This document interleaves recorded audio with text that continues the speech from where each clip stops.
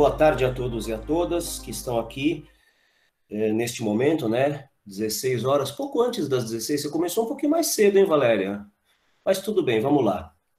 É, bem, como a Valéria mencionou, eu tenho um relacionamento histórico com a UBQ.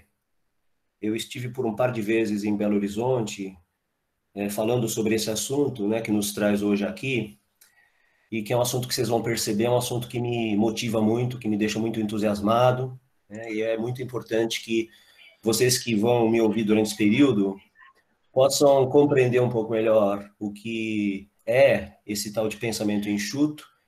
Eu vejo algumas pessoas que certamente conhecem bem esse assunto, outras, todavia, podem é, requerer, né?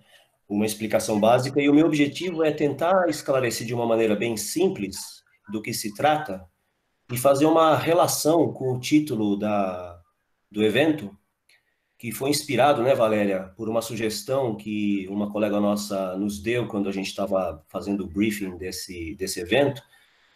É, e o Como Será Amanhã, na verdade, eu havia dito para a Valéria pouco antes da gente começar, eu não vou tratar como se fosse uma coisa eh, de previsão, né, ou algo preditivo, uh, que pode sugerir, né, com o título Como Será Amanhã.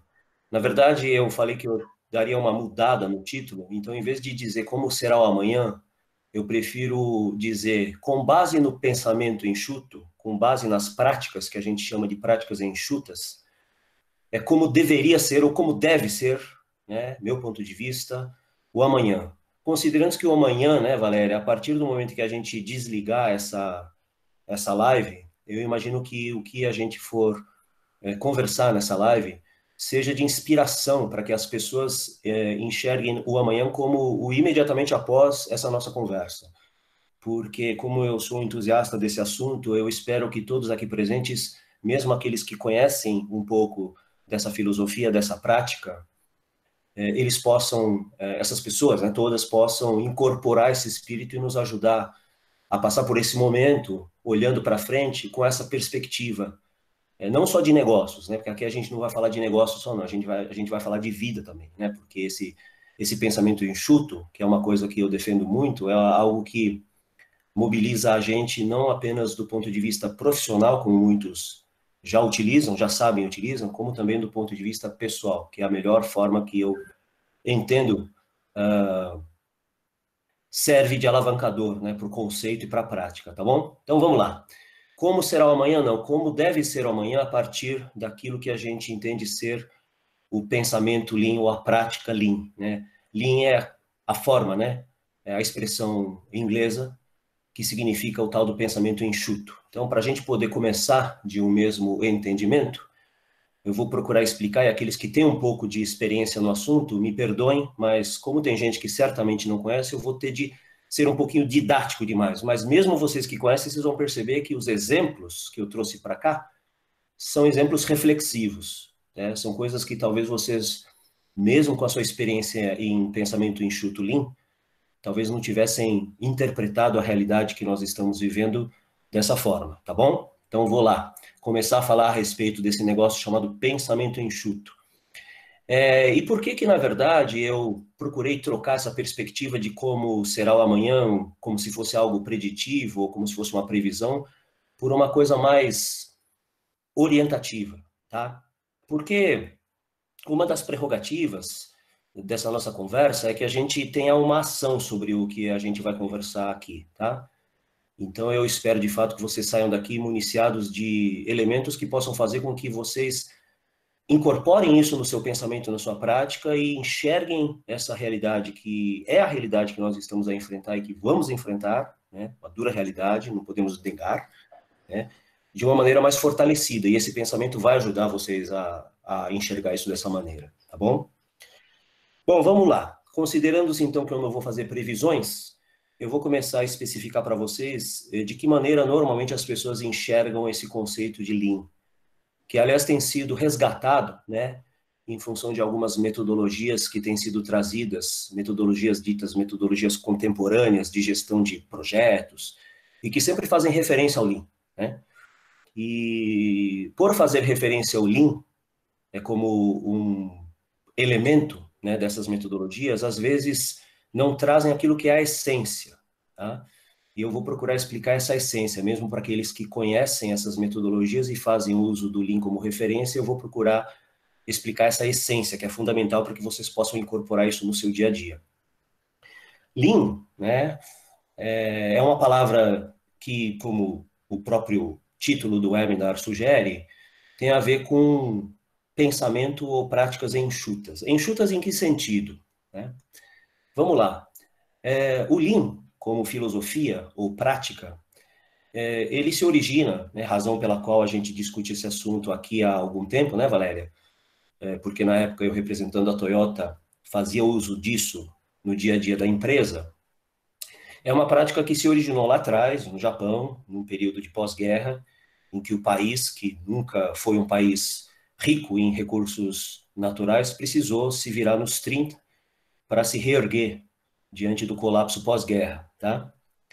E aí, Toyota principalmente, né, como empresa de ponta, pensando a respeito da, de algumas alternativas para poder sobreviver e fazer com que o país crescesse do ponto de vista econômico, uh, desenvolveu né, um, uma forma de trabalho baseado nisso que a gente chama de pensamento enxuto e que alguns conhecem, né, porque já ouviram falar, principalmente pessoas que estudam em cursos de gestão, em cursos de engenharia, já ouviram falar, né, por exemplo, da prática de just in time, né, que é você entregar o produto ou o serviço certo, com o nível de qualidade percebido né, pelo cliente, no momento certo. Né?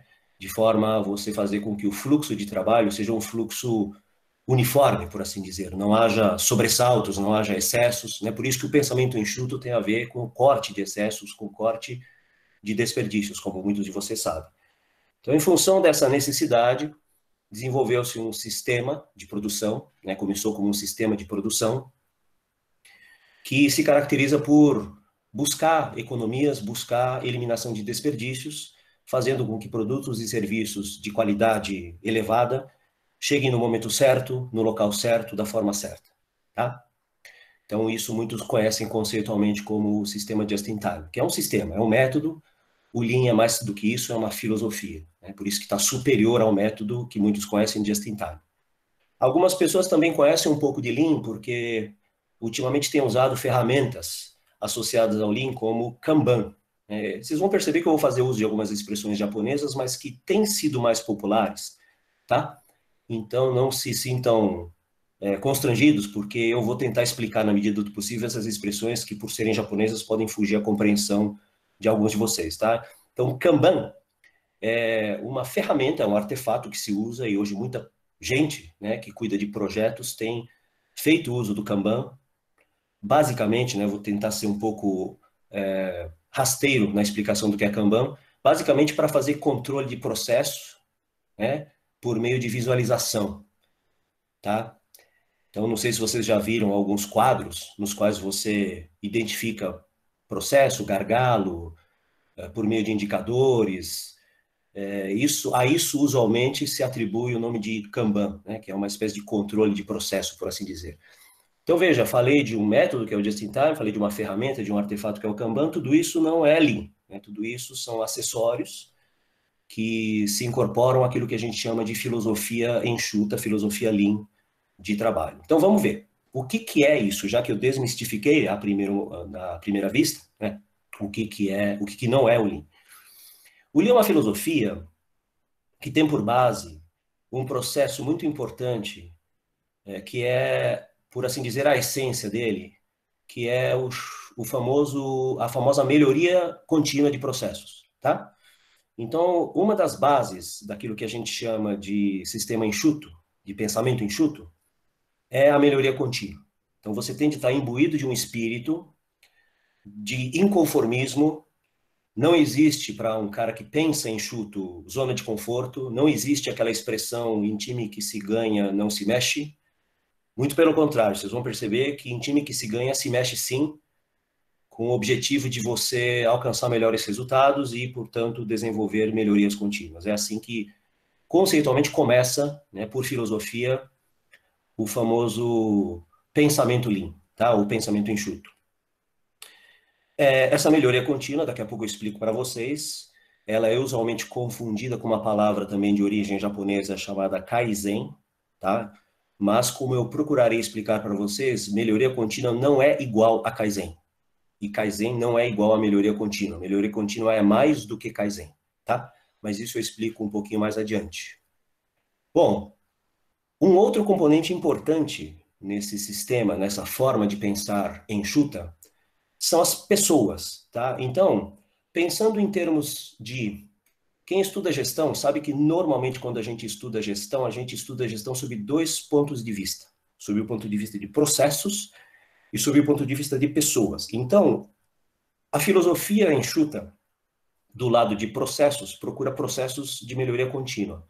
Do lado de pessoas, procura pessoas capacitadas Tá? Pessoas que exercem a sua capacidade principal, que diferencia o ser humano, que é a sua capacidade de se debruçar sobre um determinado problema e buscar uma solução, né? ou seja, pessoas pensantes, pessoas que analisam os fatos e, com base nesses fatos, desenvolvem as tais melhorias contínuas. Portanto, né, nesse sistema de gestão, né, ou nessa filosofia de gestão, que é o pensamento enxuto, é, igualmente a formas de gestão padrão, que sempre enxerga processo de um lado, pessoa de outro, juntando os dois, gerencia-se né, uma determinada atividade, um determinado processo, né, nisso não se difere muito, com a diferença de que, tá, vocês vão perceber, há algumas peculiaridades nesse sistema que fazem com que o processo de melhoria contínua seja estabelecido de uma maneira bem diferenciada, bem típica, tá, e é isso que eu vou procurar explicar para quem não conhece,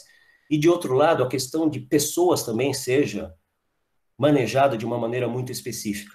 Porque, diferentemente do que muitas vezes nós vemos, não só nas organizações como na sociedade, pessoas individualmente não resolvem absolutamente nada, não desenvolvem absolutamente nenhuma melhoria contínua. É necessário que essas pessoas juntem as suas forças e principalmente inteligências para, trabalhando em equipe, conseguirem obter esses resultados por meio do processo de melhoria contínua, tá? Então, a primeira coisa que eu acabei de estabelecer com vocês é que, embora vocês conheçam alguns, né, o sistema just-in-time, né, o artefato de Kanban, esses são acessórios perto da filosofia uh, do pensamento enxuto, Lean, né, que se baseia, portanto, em melhoria contínua como processo e como pessoas pensantes trabalhando em equipe do lado das pessoas, dos seres humanos, ok? Muito bem. Do lado de melhoria contínua, como eu falei para vocês, né, não existe é, a equivalência pura e simples entre melhoria contínua e Kaizen. Isso é uma, essa é uma confusão frequente. Mesmo entre estudiosos, as pessoas dizem, ah, Kaizen é melhoria contínua, melhoria contínua é Kaizen. Não é. Tá? Então, de que forma que se desdobra a melhoria contínua? Primeiro, não existe como você melhorar continuamente um processo se você não estabelece uma meta superior um desafio, aquilo que se chama de desafio maior. Tá? Então, uma pré-condição para você fazer melhoria contínua por meio de Kaizen, que é o processo de melhoria, é você estabelecer uma meta superior. Eu costumo utilizar a palavra, né, a expressão, desculpem, tá? que os próprios especialistas utilizam, a expressão de elevar a barra. Você tem de elevar a barra de uma forma tal que, para alcançá-la, não é simplesmente você se elevar, né? É, fazendo um exercício simples de elevação, né? É, das suas pernas. Você precisa desenvolver alguma coisa um pouco mais elaborada para poder, nesse elevar de barra, poder alcançar essa barra. Portanto, esse desafio tem que ser um desafio suficientemente grande para fazer com que você saia da sua zona de conforto. Então, não existe melhoria contínua se você não eleva a barra. Por isso que eu falei há pouco que quem trabalha na zona de conforto, quem usa a expressão em time que se ganha não se mexe, contraria a filosofia Lean ou do pensamento enxuto, porque você precisa se desafiar constantemente, você precisa estabelecer essas metas de maneira consistente para que você possa buscar o processo que leva você a atingir esse novo nível de excelência. Obviamente, tá?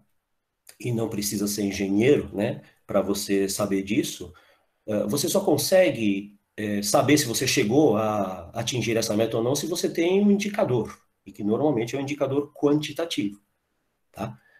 E para você ter esse indicador, você precisa se debruçar sobre o processo e verificar que tipo de indicador, que tipo de índice reflete né, esse desenvolvimento, essa melhoria, para você sair de um patamar A para um patamar B, sendo que B é maior do que A. Ok? Vamos agora trazer, né, eu vou misturar um pouco de conceito, para não ficar muito carregado, né, gente? Eu vou misturar um pouco de conceito com a realidade. E aí, na realidade, eu vou trazer aquilo que hoje nos incomoda substancialmente. Apenas como exemplo, tá? Uma coisa que eu combinei com a Valéria, quando a gente estava montando isso aqui, era para não ficar falando dos problemas que todos nós já sabemos que existem e estamos a enfrentar. Né? O objetivo da minha apresentação é poder inspirá-los até alguma a enxergar o fim do túnel por meio disso que a gente chama de pensamento enxuto, tá? Então esse é o meu propósito. Mas eu vou intercalar teoria com prática para não ficar tão maçante assim, tá? É... Vamos pegar esta situação que nós estamos a viver. Né? Qual é o grande desafio que nós temos hoje? Temos dois tipos de desafio. Um desafio sanitário, né, que é buscar cura da doença, que é buscar diminuição de pessoas doentes, internadas, buscar um, diminuir o número de mortos, tá? Enfim, a gente pode dizer que o grande desafio hoje é zerar né, a disseminação do vírus, gerar o que ele causa como consequência, que são as doenças e as mortes em alguns casos, e de outro lado nós temos, obviamente, né, a preocupação de é, econômica, né? que é a grande discussão, que é o grande trade-off hoje enfrentado né, por partidários de, ah, vamos liberar, não vamos liberar, né? fica essa disputa, mas na verdade a gente tem que olhar os dois indicadores. Né? Então a nossa meta hoje é, ao mesmo tempo em que a gente quer debelar a doença, portanto nós precisamos ter um indicador para isso, nós também precisamos olhar os indicadores econômicos. Né? E, portanto, a gente tem um grande desafio de, nesse trade-off, tentar equilibrar as duas coisas o que não é fácil. Não é fácil para ninguém, para nenhum governante, tá? Sendo bem sincero. Então, voltemos para o lado do desafio, em que você precisa estabelecer uma meta desafiadora e uma meta para atingir, é, para realizar esse desafio. Vamos supor que você estabelece, claro, o grande objetivo é a gente zerar a quantidade de doentes, zerar a quantidade de leitos hospitalares atualmente ocupados é, em consequência da doença. Então, esse é o grande objetivo, tá? Só que esse objetivo, ele tem que ser alcançado por meio de um processo que pode ser um processo, e deve ser um processo, mais longo do que o que muitas pessoas, inclusive, imaginam. Né? Então, bastante consciência nesse momento, que é o que a gente faz quando a gente trabalha, por exemplo, com metodologia ou pensamento lean enxuto em organizações, muito cuidado para você não estabelecer metas inatingíveis. É, é leviano a gente imaginar que esse negócio vai se resolver da noite para o dia, né? que qualquer medicamento que surja né, vai conseguir fazer com que todos se curem da noite para o dia. Isso é leviano. Então a gente tem que estabelecer uma meta lá na frente de zerar, mas paulatinamente a gente tem que olhar os indicadores e determinar metas que não sejam metas simples, porque eu não quero simplesmente salvar uma, duas, três vidas, eu quero salvar milhares de vidas. É, então essa meta deste lado sanitário assim se estabelece. Do lado econômico, deixo para os economistas pensarem, mas a gente sabe a preocupação que a gente tem em relação a PIB, em relação a índices de desemprego, todos são indicadores que nos levam a conduzir a nossa ação, né, seja como administrador de uma empresa, seja como economista, de um lado, seja como eh, pessoas envolvidas diretamente na operação do lado médico, sanitaristas, cientistas, etc., do outro lado, há indicadores que são desafiadores. Sem isso, a gente não consegue fazer melhoria de forma contínua, tá bom? Então, usei isso como exemplo para vocês entenderem que é esse tipo de meta que a gente busca, ok? Bom, como eu falei para vocês, uma vez estabelecida uma meta desafiadora, a gente vai atrás de realizar processos de melhoria contínuos. Uma outra coisa que precisa ficar muito clara é que não existe salvador da pátria, não existe milagre, tá? Então, nesse sentido, quando você pensa enxuto, você não pode pensar que subitamente você vai fazer um grande, uma grande descoberta científica que vai resolver o problema de toda a população no mundo todo. Né? Kaizen, melhorias contínuas, pelo contrário, quem conhece a filosofia e a metodologia sabe, ela é, o Kaizen é feito de coisas que às vezes são incrementais. Tá? Então você estabelece uma meta grande, mas você para chegar nessa meta faz uma série de ações pequenas que no, no final das contas resultam numa grande. E talvez, né, quem mexe com isso em empresas, por exemplo, pode me dizer com mais propriedade se sim ou se não, e eu imagino que eles vão dizer sim para mim, pessoas ou empresas que já adotam essa filosofia de trabalho, como estão acostumadas a desafios, como estão acostumadas a melhorias contínuas e incrementais, elas encarar, encararam e devem estar encarando esta realidade, apesar de ser uma realidade muito dura, de uma maneira diferente daquelas pessoas que sonham em ter uma solução da noite para o dia, porque elas sabem que no mundo real delas, no mundo enxuto, essas coisas elas vão sendo construídas aos poucos. Né? São pequenas melhorias que constroem uma melhoria maior, né? um desenvolvimento superior. Né? Então, as pessoas que normalmente têm esse pensamento hoje, tá? salvo o do engano meu, e salvo situações específicas, devem ser pessoas que estão olhando esta situação com um pouco mais de, não digo conforto, né, porque é uma situação absolutamente desconfortável, mas com um pouco mais de consciência, tá? E nisso vem, portanto, mais uma orientação minha em relação a quem não tem essa visão para observar bem o que eu estou dizendo, para poder incorporar isso, mesmo que seja daqui para diante. Ok? Então vamos lá.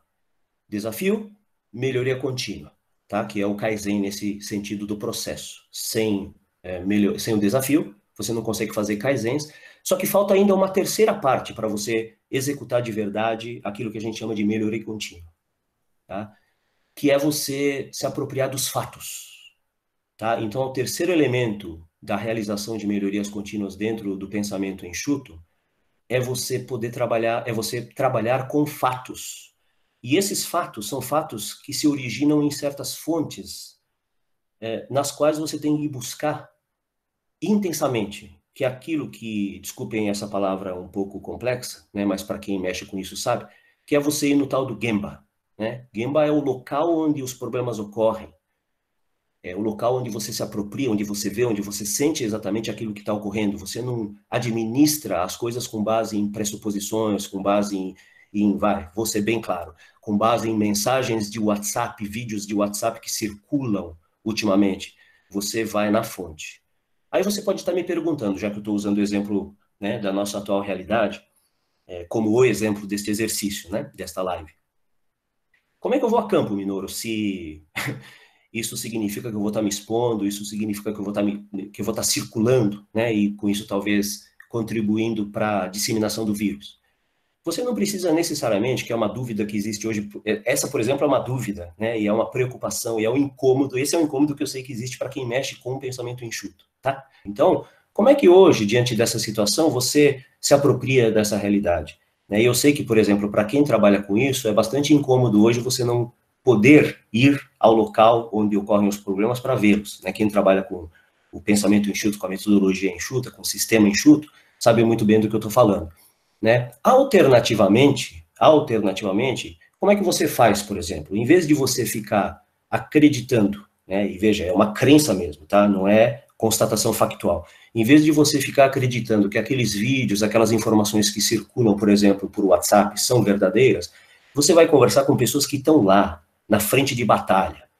Né? E eu vou dizer, por exemplo, eu sou um pouco privilegiado nesse sentido. Privilegiado por um lado, porque por outro lado não é privilégio nenhum ter uma pessoa na minha família, que é minha esposa, que é uma profissional de saúde, e que, de uma maneira ou de outra, está exposta a isso. Está um pouco menos, porque ela não está de fato na frente de trabalho, ela não tá, né, de trabalho, não trabalha especificamente cuidando de Covid, tá? mas ela está lá.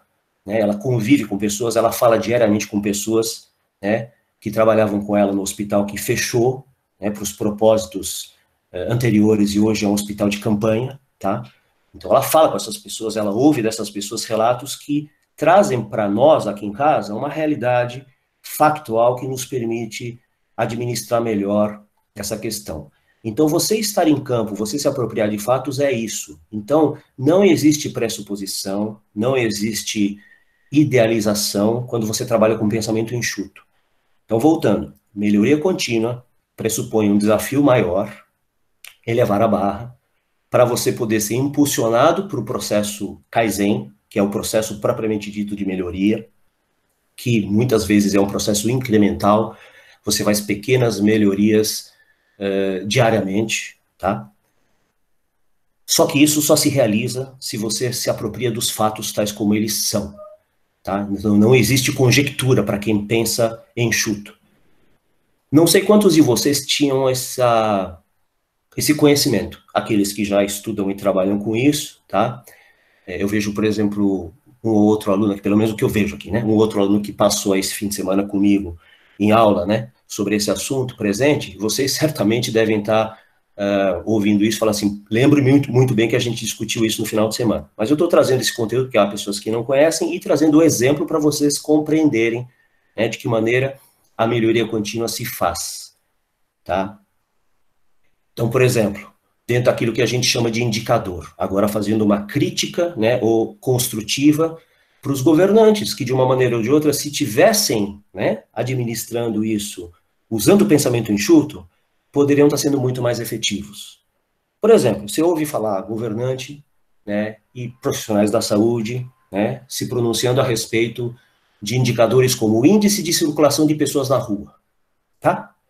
Esses caras que estão acompanhando esse indicador, que é um indicador importante, né, dado que, dado que, né, uma causa raiz, né, a origem de um dos problemas né, da disseminação do vírus é a circulação de pessoas, eles, de fato, estabeleceram uma meta desafiadora e estão propondo kaizens diários para poder atingir essa meta?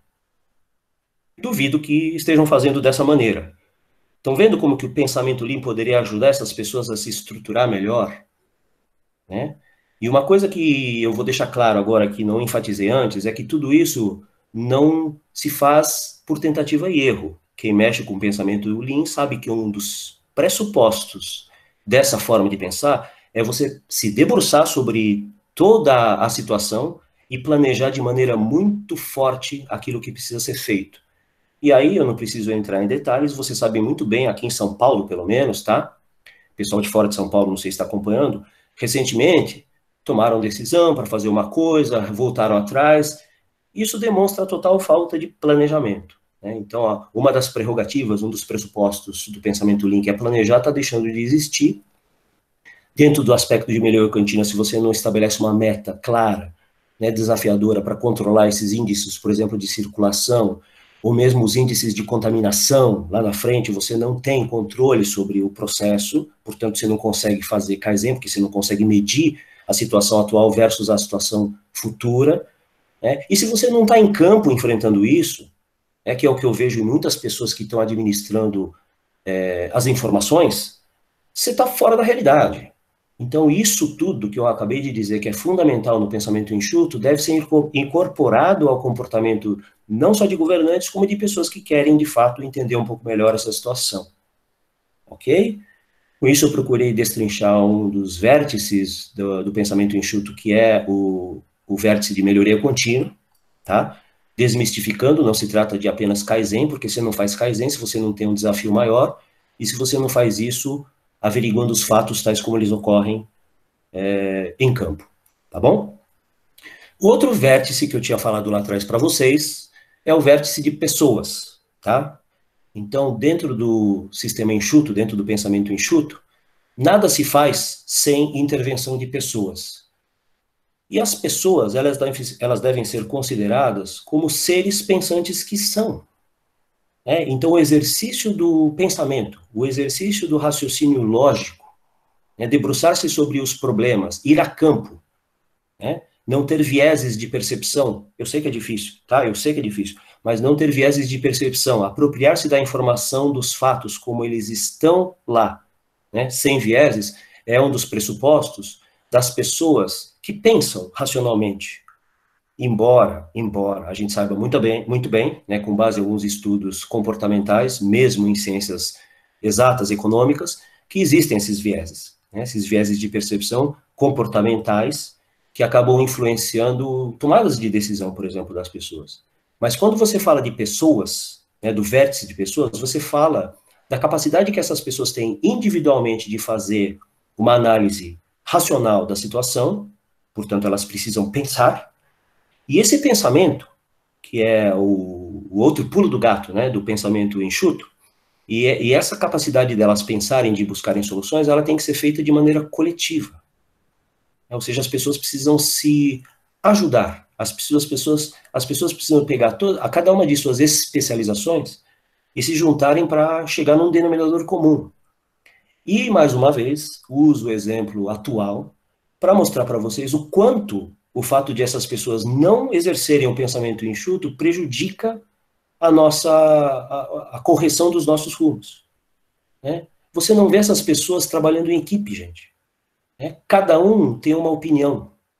Né? Políticos pensam de uma forma, economistas pensam de outro, profissionais da saúde pensam de outro, mesmo profissionais da saúde que cada um está desenvolvendo a sua pesquisa, né, tentando provar a sua tese de que tal medicamento é melhor, de que tal tratamento é melhor, eles não se juntam, fica cada um de maneira às vezes até nesse sentido até ideológico, né, é, defendendo seu ponto de vista. Quando na verdade pega, por exemplo, uma situação de dois grupos de cientistas, né? Vamos falar dos cientistas, são os caras que têm que estudar isso, tá? Porque o resto é, é, é opinião, tá?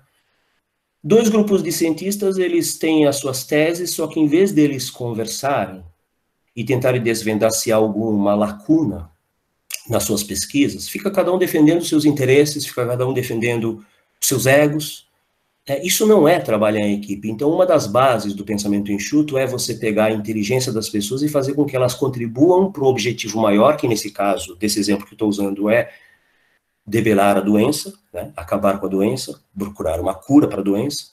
E você não vê essas pessoas trabalhando dessa maneira. Então, vocês já devem ter percebido, depois desse exemplo que eu dei, que é um exemplo bem característico da nossa realidade, como é que as coisas poderiam ser melhores.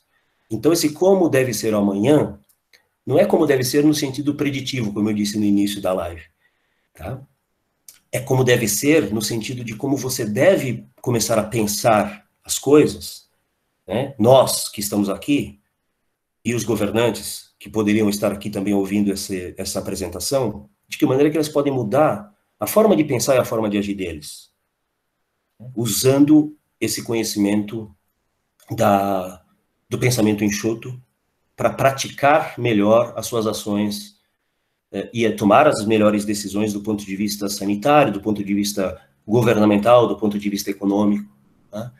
Então, eu procurei, nesse primeiro discurso de meia horinha, né, trazer um pouco de elementos para vocês de como, de o que, que é conceitualmente o pensamento enxuto, né, de que ele não é simplesmente um método uh, just in time, nem tampouco um artefato Kanban, ele é mais do que isso, e ele se compõe de dois vértices, um relacionado a processos de melhoria contínua, que não é igual a Kaizen, porque sem desafio e sem você ir para campo, né, atrás dos fatos, você age de maneira leviana, e por outro lado, o vértice de pessoas, que são pessoas pensando conjuntamente, buscando uma solução para essa situação que a gente sabe que é bastante complexa. Vou tentar expandir agora a utilização desse conceito, que eu usei o exemplo da pandemia propriamente dita, para poder mostrar para vocês de que maneira que a gente poderia estar tá fazendo o melhor uso do pensamento enxuto para essa nossa atual situação. Vou trazer agora por uma realidade que alguns de vocês conhecem, né, porque sabem que, além de ser um entusiasta do tema manufatura, pensamento enxuto, que é o Lean, eu sou orientador de carreiras, né, e cuido de carreiras é, nas minhas horas vagas, entre aspas. Né? Tá? Pensa hoje, você, que está olhando o momento profissional, algumas pessoas em busca de trabalho, no meio dessa loucura toda, de que maneira você pode incorporar essa filosofia enxuta Lean às suas práticas do dia a dia, ao seu projeto de planejamento de carreira, por exemplo. Você, lembre-se, melhoria contínua e pessoas tá? Você, obviamente, tem que ter um indicador que vai medir o seu desejo, né, o seu plano de ir lá na frente conseguir alguma coisa melhor, tá? Então, você vai estabelecer um prazo, você vai estabelecer algumas métricas, você vai precisar, obviamente, controlar né, alguns indicadores como as suas despesas, né, principalmente se hoje você não estiver tendo receitas, se você tiver reservas, você vai ter que olhar essas reservas e fazer um planejamento de o quanto você pode despender dessas reservas para poder se manter durante um período em que você não vai ter receitas. Né? Então, essa equação é uma equação matemática que você estabelece um desafio, uma meta, e corre atrás, fazendo melhorias de maneira contínua. Melhorias incrementais. Vou dar um exemplo que pode parecer tosco, né? Mas que representa a essência do pensamento Lean, que é fazer melhorias, às vezes até caseiras, tá? Muita gente pensa em fazer melhoria comprando um grande sistema ou fazendo uma grande é, mudança tecnológica. Aqui em casa, outro dia, havia um vazamento. Né? Óbvio que eu também estou aplicando pensamento enxuto aqui em casa, né? em função das circunstâncias. É, eu não sou um cara muito bom né, de fazer essas coisas. Eu não tenho nenhuma habilidade. Mas eu olhei para aquela situação, falei, eu tenho duas opções, ou eu chamo uma pessoa para resolver esse problema definitivamente, ou eu invento um pequeno artefato que me faz é, conter, né, esse vazamento por um período. Criei ali um artefato muito simples, que na verdade peguei uma fita isolante e grudei no lugar lá para é, regular o sistema de boia, tá? Que era o que estava afetando, que, é, que era o que estava causando esse, esse vazamento. Funcionou, né? É, com isso eu parei de desperdiçar água, né? Uma coisa simples, uma economia incremental, né? Uma melhoria incremental, mas que lá na frente, se eu fizer um pouco disso a cada dia, vai me ajudar bastante a segurar as minhas reservas econômicas, né, por assim dizer, por um período maior, tá? E assim você tem que pensar no seu projeto de carreira, considerando que você hoje busca uma posição, por exemplo, né, e que Talvez isso não venha agora, o quanto você vai ter que estabelecer em termos de desafio para chegar naquele momento e encontrar alguma coisa que possa vir ao encontro do seu projeto maior de carreira, tá? Por meio de melhorias contínuas e como é que funciona essa questão do ir a campo, então, né? Que é essa questão que muitos relacionam. Como é que funciona essa questão do ir a campo e o do trabalho em equipe, que você mencionou, que é muito importante. Aí vem, tá? é, uma recomendação que eu sempre dou às pessoas, né, em projetos de carreira, que é a construção da sua rede de relacionamentos, tá? Então, nesse contexto, você se relacionar com as pessoas, que é você trabalhar em equipe e buscar soluções conjuntamente com outras pessoas que podem até estar tá passando pela mesma dificuldade. E de uma maneira ou de outra, é impressionante como neste momento eu vejo algumas pessoas fazendo isso. Não digo que atreladas, né? Atrelado ao pensamento instituto, mas eu vejo pessoas se ajudando. É que é exatamente esse o espírito. Né? E se ajudando de que maneira? Indo a campo. O que, que significa ir a campo? Por exemplo, você tem contato com pessoas, você lê notícias, olha o que significa ir a campo. Você lê notícias sobre uma determinada empresa, por exemplo. É, a empresa está estrangulada, a empresa está desempregando, né? São notícias, não são fatos, tá? Por que não são fatos? Porque você não foi a campo averiguar o que está ocorrendo. Mas como assim que eu vou a campo? Eu não devo confiar na imprensa, por exemplo? Eu não devo confiar na assessoria de imprensa dessa empresa? Não que você não deva confiar nessa assessoria de imprensa, de imprensa dessa empresa, tá? Não que essa notícia seja uma notícia falsa. Mas olha só, eu vou criar uma situação que não é hipotética, porque eu já vi ocorrer, em que você, a despeito de saber que essa empresa passa por uma dificuldade, você tem um contato nessa empresa, portanto, a essa pessoa que está em campo nessa empresa, que é a sua fonte confiável, e a despeito dessa empresa estar tá mal, por um motivo ou por outro, uma pessoa que ocupava uma posição que é uma posição que você pode ocupar, saiu dessa empresa. E isso não foi noticiado, porque isso não é notícia de jornal, isso não é, isso não é notícia de imprensa. Né? E foi só porque você foi a campo atrás dessa informação com seus contatos, trabalhando em equipe com essas pessoas que fazem parte da sua rede de relacionamentos, que você obteve essa informação. E de repente essa posição é uma posição que você pode ocupar, porque você foi a pessoa que foi a campo. Compreenderam como é que o pensamento enxuto também nos ajuda a administrar essa parte da nossa vida pessoal? Então eu procurei mostrar para vocês conceitos básicos. Me desculpem aqueles que já conhecem bem esses conceitos, tá? Mas eu fiz questão de trazer todo mundo para a mesma página. Procurei estabelecer alguns exemplos tá, da realidade que servem para ilustrar de que maneira que esse pensamento enxuto nos ajuda a enxergar melhor essa situação. E procurei transmitir, juntar um pouco da minha experiência né, com gestão de carreiras e pensamento enxuto para é, ilustrar para vocês, por meio desse exemplo de né, pessoas em busca de melhores oportunidades, ou de vagas, ou de posições, ou de uma recolocação, de que maneira essas duas coisas conversam e podem se complementar. É, vejam bem, diante de tudo isso, e daqui a pouco eu vou dar uma consultada aqui no chat para ver se tem alguma pergunta, alguma colocação que possa ser ilustrativa né, e que possa ser complementar aquilo que eu falei, ou mesmo perguntas que eu vou responder a vocês durante esse período que ainda temos, né, Valéria? Tá? Eu gostaria de usar um contra-exemplo, é, porque também os exemplos que eu dei são ilustrativos, mas os contra-exemplos também são ilustrativos. Eu vou usar um para mostrar o que não é o pensamento enxuto. É, eu me lembro, assim que se instalou a pandemia aqui no Brasil, começou a circular por um grupo de WhatsApp um vídeo de um indivíduo que havia ido ao hospital de campanha do estádio do Pacaembu, né? Para quem é de fora de São Paulo, né? Não sei é, se conhece, né? Essa iniciativa, o estádio do Pacaembu foi transformado num hospital, né? E esse indivíduo foi, poucos dias depois de instalado o hospital, fazer uma gravação de um vídeo. O objetivo dele, político, ideológico, não importa, né? Era de mostrar a ineficácia da ação. Ah, Minoro, mas então ele foi a campo. É, ele foi a campo, só que ele foi a campo não para constatar fatos, ele foi a campo para tirar conclusões precipitadas, que é uma das coisas que o cara que pensa em chuto nunca faz, porque ele analisa primeiro o fato, sem viés, lembra que eu falei disso? E depois ele procura interpretar isso à luz da realidade.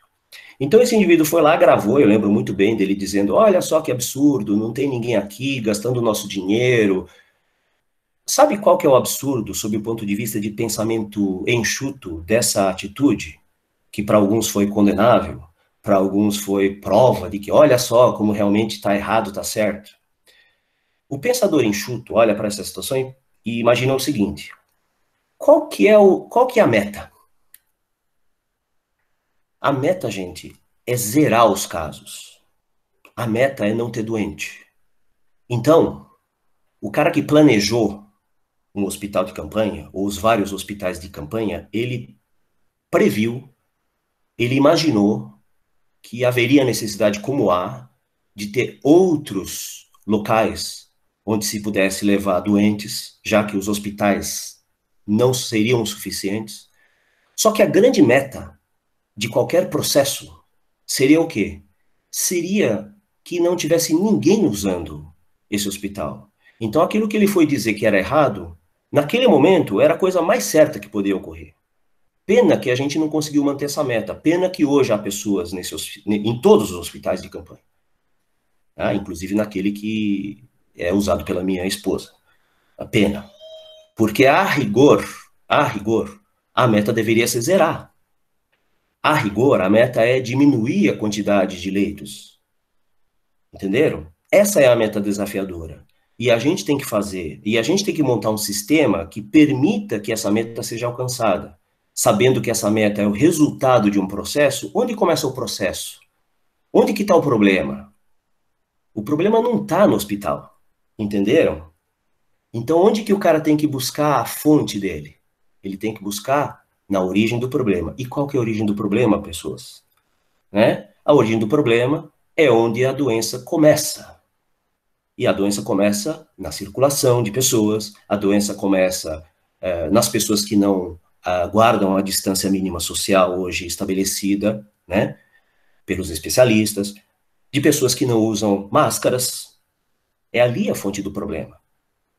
Lá na frente é a consequência. Então, o indicador lá na frente é zerar, mas para você zerar o indicador, você tem que estabelecer uma meta aqui atrás, né, de circulação máxima de pessoas ao mesmo tempo em que você trabalha nos hospitais com índice de criticidade, né, é, também mínimo, tá? Para que você não possa, para que você não tenha casos críticos entrando nos hospitais.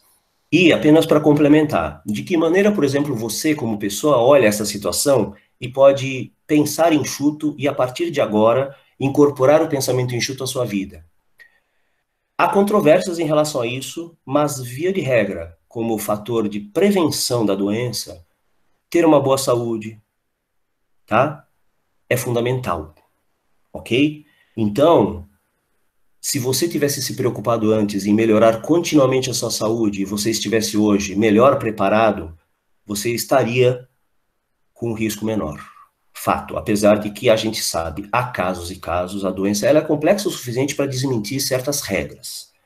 Né? Mas se você quer melhorar continuamente a partir de agora e se prevenir para futuras situações parecidas com essas, e há pessoas dizendo que isso vai ocorrer né, de maneira recorrente, em função de várias circunstâncias daqui para frente, então você já sabe o que tem que fazer. Diariamente se preocupar com a sua saúde, não precisa né, querer emagrecer né, em 30 dias, mas diariamente controle o seu peso, diariamente estabeleça um programa regular de exercícios e faça isso de maneira contínua. É assim que funciona o pensamento enxuto também nessa questão. Bem, eu estou vendo que chegamos aqui a 15 minutos do fim da live, Valéria.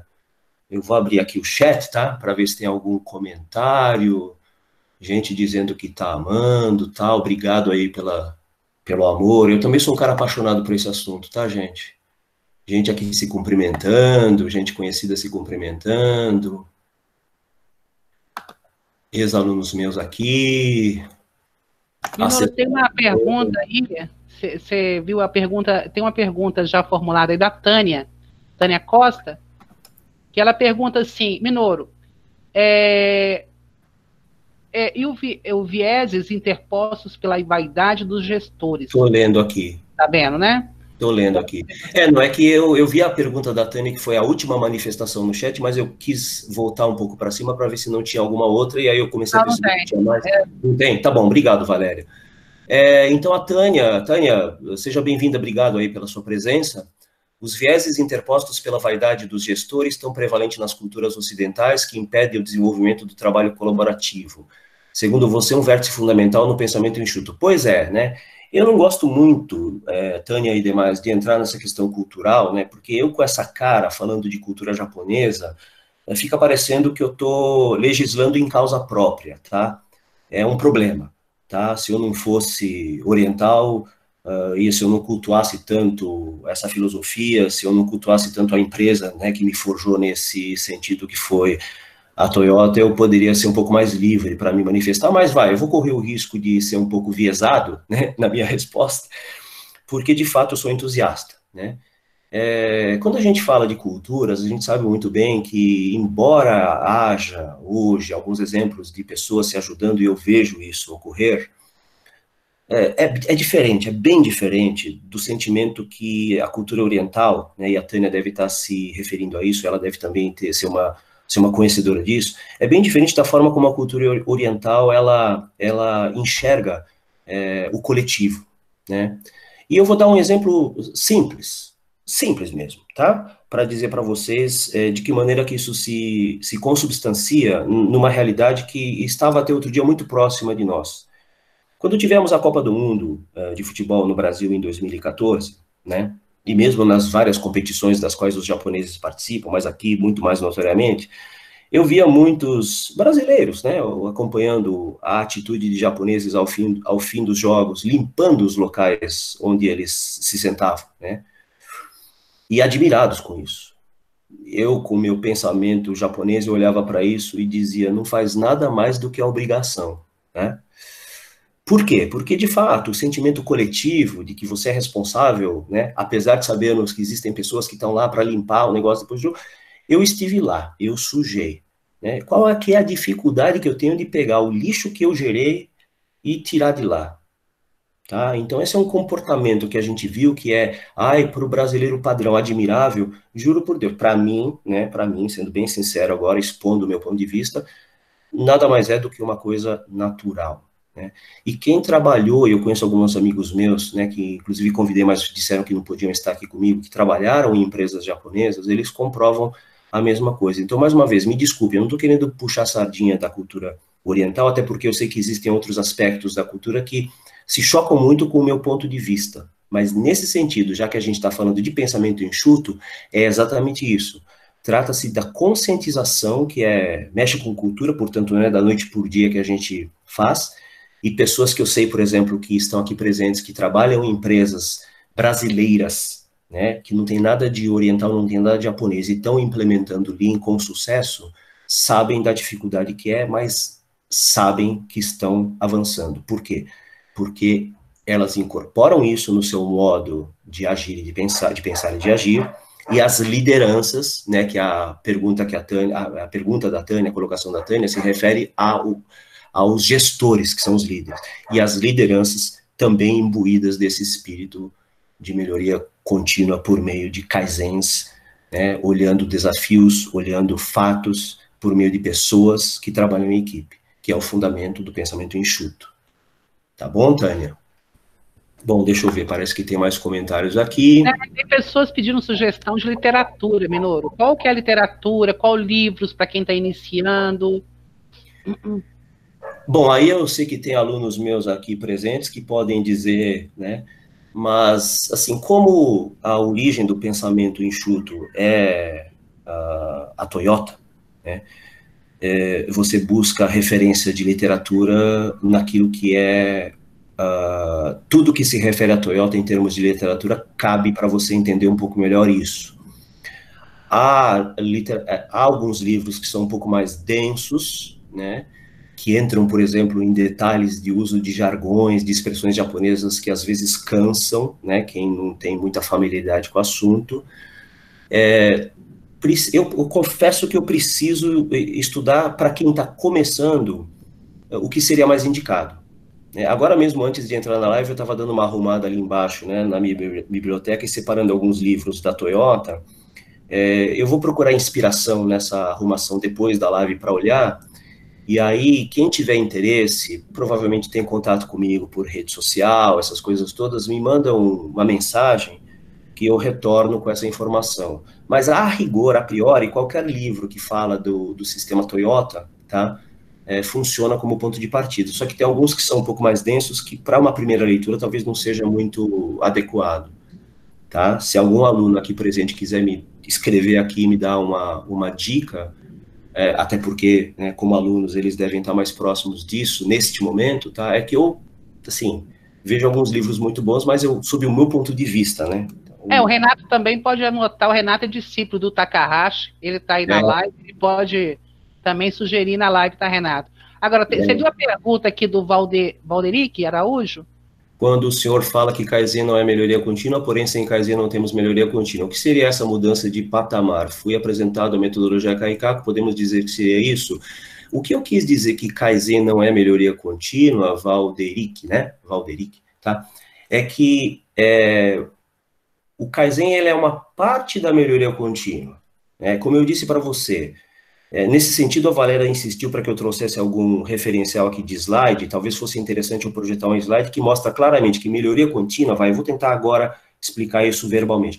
Melhoria contínua é igual a desafio mais Kaizen mais é, busca de fatos, tá?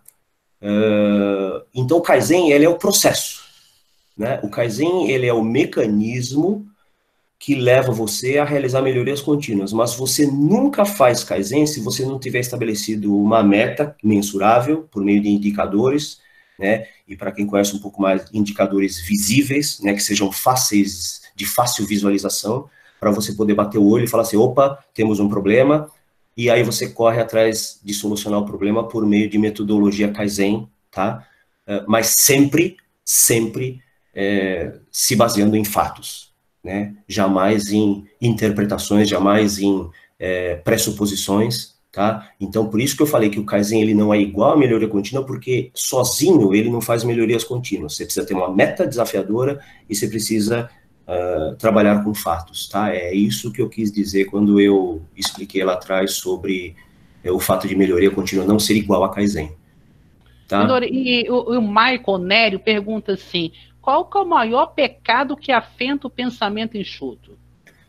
Pecado que afeta o pensamento enxuto, uh, ou pecado que afeta pessoas que não querem entender ou enxergar que o pensamento enxuto é uma forma boa de você administrar não só processos, empresas, organizações, governos, como acabei de dizer, como uh, a sua própria vida pessoal.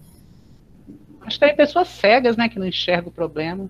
É, assim, existe esse conceito, né, Valéria? Uhum. É, e o problema ele tem que ser visível. E muitas vezes é aquilo que eu falei para vocês.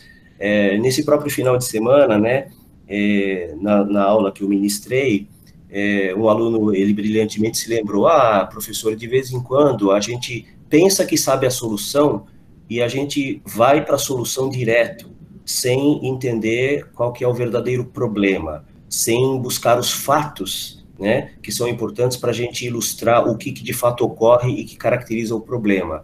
Então, é, o maior pecado que afeta o pensamento enxuto vai, respondendo à pergunta do Maico, é aquilo que, do ponto de vista psicológico, eu também, eu também explorei isso com os meus alunos no final de semana, são os vieses de percepção, né? ou seja, aquilo que a gente carrega como pré-suposição que nos leva a enxergar as coisas de uma maneira como se tudo fosse dado e tudo fosse igual e as soluções fossem universais quando na verdade não são. A gente precisa ir à fonte, precisa buscar a origem dos problemas, tá? Uh, e não pode partir de pressupostos, de uh, idiosincrasias, de uh, sentimentos, simplesmente, tá? Então talvez seja esse o grande pecado, tá?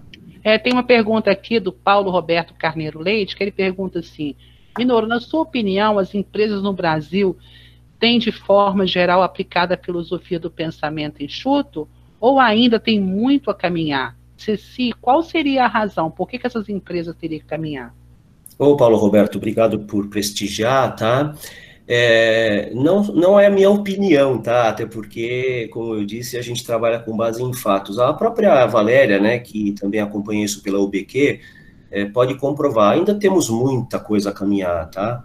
É, basta ver, por exemplo, no curso que eu ministro, que é um curso que agrega pessoas e empresas interessadas nisso, que há uma pouca diversificação de empresas que se interessam no primeiro momento, né, ou que já estão aplicando e buscam, por exemplo, nesse curso, um complemento uh, da prática, né, teórico para a prática que eles já implementam nas suas empresas. Então, a resposta é, Paulo Roberto, tem muito caminho a percorrer. Eu, como sou consultor e fui consultor de várias empresas, eu vi poucas iniciativas. A gente vê, né, empresas trabalhando com processos de melhoria contínua, mas muitas sem a definição clara né, do que, que é o pensamento enxuto é, e que eu procurei, então, ser um pouco mais detalhado e, pelo que estão me dizendo aqui, fui bem didático, porque as pessoas compreenderam é, o que é, na sua essência, que era o meu principal objetivo, tá, Paulo? Então, a resposta à sua pergunta é, é tem muito a caminhar sim, e a razão é, é como a gente é, discutiu na aula neste final de semana, uh, a falta de conhecimento. Então, por exemplo, organismos como a UBQ, or, empresas que estão implementando isso, deveriam fazer mais propaganda, né, é, no sentido positivo da palavra, para disseminar isso, ok? Que é, por exemplo, que durante o período em que eu permaneci na montadora e agora aqui nesta live, né, e nas diversas é, intervenções que eu fiz com a própria UBQ, eu procurei fazer tá? Então a gente precisa de mais pessoas disseminando isso e é, ensinando. Minoro, tá? mas é, nós temos vários discípulos na UBQ e várias frentes, exatamente pessoas como vocês que nos ajudam a levar é. esse assunto. Agora, tem várias outras perguntas, tem pessoas pedindo assim para explicar ma mapa de fluxo de valor, a gente não pode entrar nesse detalhe, mas, por exemplo, a Jucinei Pereira aqui, é, ela pergunta, parabéns, Minoro. Então, podemos dizer que temos que nos reinventar para o novo amanhã? Com base ao conhecimento da metodologia Lean, todos os afazeres, certo? É isso? Jucinei, considerando-se que a gente está dois minutos do fim da live, eu diria que essa sua percepção é a percepção que eu gostaria que todos tivessem ao final dessa nossa conversa, tá? Então, se você, Jucinei, e os outros é, entenderam isso dessa maneira, eu vou sair daqui muito satisfeito, porque vou até repetir, podemos dizer que temos que nos reinventar para o novo amanhã com base no conhecimento da metodologia Lean, que é a metodologia enxuta, a filosofia enxuta em todos os afazeres? A resposta é sim, tá? A minha ideia é que esse grupo de, sei lá, 70, 80 pessoas que eu vi aqui no pico assistindo essa live possam sair daqui pensando, né, de que maneira que eu posso incorporar isso nas minhas vidas pessoais antes mesmo de poder voltar para as empresas e falar para o chefe ou para quem quer que seja, olha, eu assisti a uma live, seria bom a gente estudar um pouco mais esse assunto. Tá? Então começa por vocês. É assim que funciona. E quem tiver dúvidas, me encontra em redes sociais. Não sei se a Valéria vai disponibilizar algum canal via UBQ para a gente poder conversar. O intuito é esse, a gente poder, de fato, é, praticar isso com um pouco mais de, de continuidade né, e abrangência para, de acordo com a pergunta que o Paulo fez lá atrás, né, podermos disseminar isso para mais organizações, para mais é, famílias, inclusive, tá bom? Porque, como eu mencionei, a Jucinei pegou muito bem, isso vale para a nossa vida também, tá? Ô, ô Minoro, eu gostaria, nós gostaríamos de agradecer a sua participação, lembrando que todas as perguntas do chat nós vamos encaminhar para você com o contato das pessoas. E aí, Ótimo. se você puder fazer o retornar para eles, seria bem legal. Agradecer a presença de todos que estão aqui na live e informar que na sexta-feira, nesse mesmo horário, às 16 horas, teremos um, uma pessoa também, né, Minoro, muito interessante, que é o Marcelo Takahashi Aí Ele... que eu vou dizer para vocês, se vocês gostaram de mim, vocês têm que gostar do Takahashi, porque, assim, muito mais do que 50%, vai, muito mais mesmo do que 50% que eu sei sobre esse assunto, eu aprendi com ele, tá? Que foi o cara com quem trabalhei na Toyota que me ensina até hoje é, coisas novas em relação a isso. Tudo bem? Então não percam o Takahashi, ele é fantástico. Minoru, muito obrigada. Obrigada a todos pela participação, tá, gente? Continue assistindo nossos eventos, participando. Nós estamos Beleza. numa era colaborativa. Só assim que a gente vai fazer o Brasil crescer. Muito obrigada. Obrigado, gente. Se cuidem, hein? Saúde para todos aí.